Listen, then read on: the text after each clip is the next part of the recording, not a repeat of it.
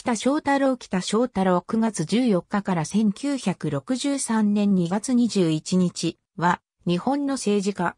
衆議院議員、参議院議員、内江村初代村長、石川県野見郡三幸村出身。1894年、一家で砂川町内江に入職。1911年、空知農業学校卒業。卒業後は、家業の農業に従事。1915年大日本帝国陸軍に入営。小委任官。砂川農村会長、内江産業組合長、内江水利組合長を兼任。1919年砂川町議会議員に当選。1920年保証責任北海道信用購買販売、組合連合会理事及び砂川農会会長。1924年大日本帝国陸軍中委任官、同年北海道議会議員に当選し、以後連続3期務めた。1931年空知軍農会会長を3期務める。1936年に第19回衆議院議員総選挙に北海道4区から立候補し初当選した日本農民党に所属。以後連続4期衆議院議員を務めた。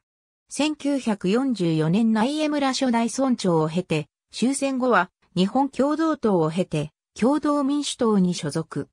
党内の農村派の代表格として副委員長を務めたが、山本実彦が三木武夫を入党させて、統制拡大を図ろうとしたことに、弟の北西生と共に反発。